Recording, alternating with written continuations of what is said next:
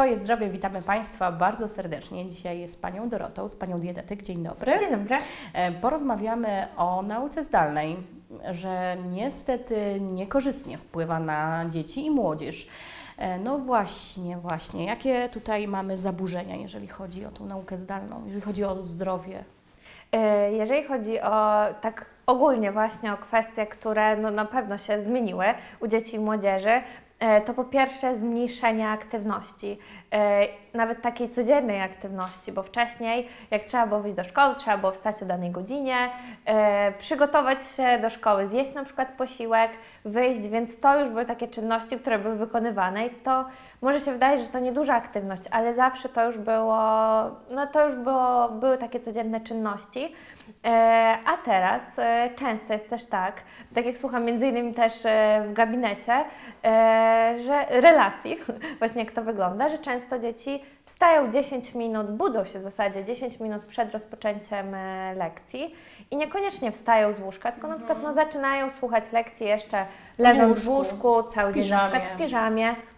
E, Więc e, to wszystko wpływa już na taki rytm dnia. Wtedy zaburza się nawet e, kolejność, e, jeżeli chodzi o spożywane posiłki, a także jakość posiłków, bo nie zawsze też e, jest czas, że ktoś przypilnuje, jaki właśnie z, właśnie z dorosłych przypilnuje, jaki posiłek jest spożywany.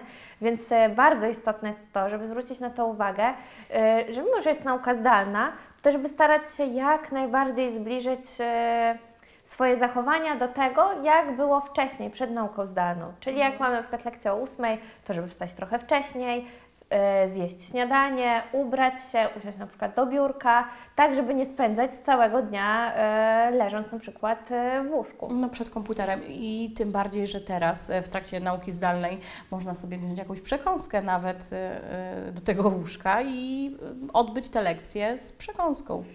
Dokładnie, więc jeżeli już zaczniemy... Niezdrową przekąską. Tak, jeżeli zaczniemy dzień od tego, że właśnie wstaniemy, zjemy śniadanie, to już jest mniejsze ryzyko, że będziemy jeść, e, Podjadać jeszcze podjadać więcej posiłków. Oczywiście no jest to możliwe, ale już jest mniejsze, e, mniejsze ryzyko, więc przede wszystkim podstawą jest to, e, żeby tak planować też dni, żeby był taki rytm dnia, żeby mieć zaplanowane, że wstajemy i wykonujemy dane, dane czynności. Mhm. No i pewnie też tutaj z wodą dzieci mają problem, no bo leżą w łóżku, e, no i mniej wody chyba spożywają. Tak, więc bardzo ważne też jest, e, żeby woda, butelka z wodą, szklanka, dzbanek, w zależności co, e, co mamy, Coś było pod na, ręką. Tak, e, stało na widoku, czyli na przykład jak siedzimy przy biurku, co byłoby najlepszym w zasadzie rozwiązaniem, e, to żeby woda właśnie stała na biurku, żeby cały czas można by się przypominała, żeby, e, żeby wypić. Więc tutaj o tym, żeby pamiętać, żeby wypijać właśnie te zalecane e, ilości wody. E, No i też, jeżeli będziemy pić, dzieci będą pić e, właśnie około tak półtorej litra wody, to wtedy też jest e, trochę mniejszy apetyt. Jeżeli ciągle ta woda też jest, też jest dostarczana. Mhm. No i tutaj w szkole przed nauką zdalną mieliśmy lekcję WF-u. Teraz również mamy lekcję WF-u, no ale tak ciężko sobie wyobrazić tą aktywność fizyczną przed komputerem.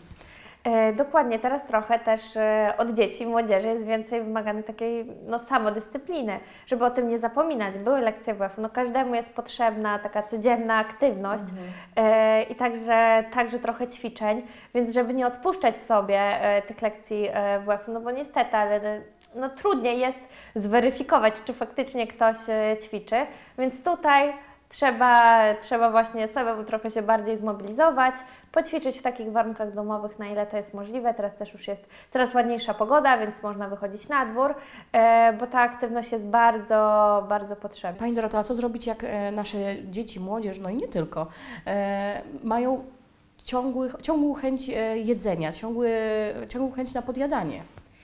Tutaj trzeba się przyjrzeć na początku, czy e, nasze posiłki, które właśnie jemy, e, zawierają odpowiednią ilość e, białka, odpowiednią ilość błonnika pokarmowego, bo często to może być przyczyną, że faktycznie w naszych posiłkach jemy na przykład wysoko przetworzone posiłki, same przekąski w zasadzie, a nie, nie zaczynamy dnia od śniadania i później, później kolejnych posiłków.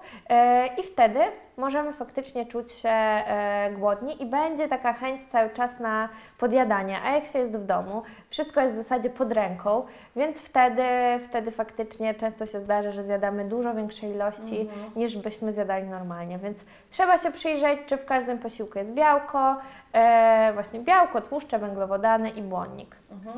E, To, że mamy naukę zdalną i dzieci e, większość czasu spędzają w domu, e, też również zaburza, zaburzają swój rytm snu. Bardzo późno chodzą spać. E, No właśnie, jak to później wpływa na stan zdrowia?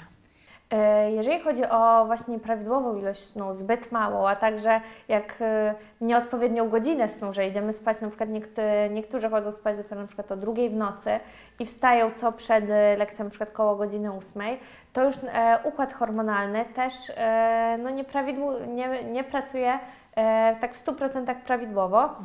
I to może się później też przyczyniać do powstawania różnych e, zaburzeń związanych z gospodarką hormonalną, e, ale to, co tak na daną chwilę, jaki to ma wpływ, to oczywiście też jeżeli chodzi o e, między innymi i apetyt, może być większy apetyt, jak jesteśmy niewyspani, e, ale także jeżeli chodzi o regenerację, no organizm nie ma się kiedy zregenerować, więc e, to, co tak jak wspominam na samym początku, najlepiej założyć sobie taki rytm dnia, podobnie jak było wcześniej przed nauką zdalną, czyli wstajemy o danej godzinie, jemy śniadanie, jemy regularne posiłki, no i dbamy o to, żeby pójść, e, pójść spać o takiej porze e, Normalnej, tak, powiedzmy. racjonalnej.